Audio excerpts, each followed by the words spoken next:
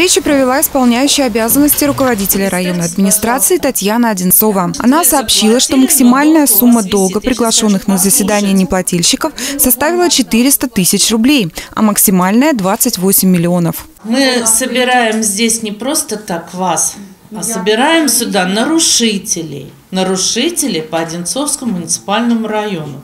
То есть те лица, которые здесь зарегистрированы и не платят налоги бюджет Одинцовского района. На заседание пригласили около 20 должников, как юридических, так и физических лиц. Их общая задолженность составляет около 87 миллионов рублей. Как показывает практика, вызов на комиссию подталкивает незаконнопослушных граждан выполнять свои обязательства. Так, половина долга была погашена неплательщиками накануне заседания.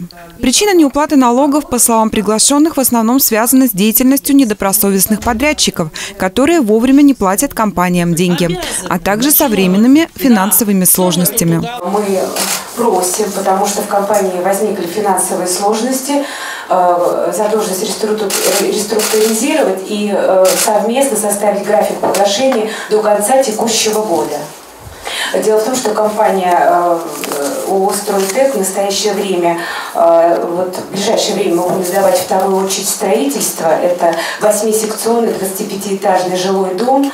И у нас на и конец июня намечен ввод дома в эксплуатацию. Перед нарушителями закона поставили задачу погасить все виды задолженностей до 15 мая. Владимировна, огласите, пожалуйста, список.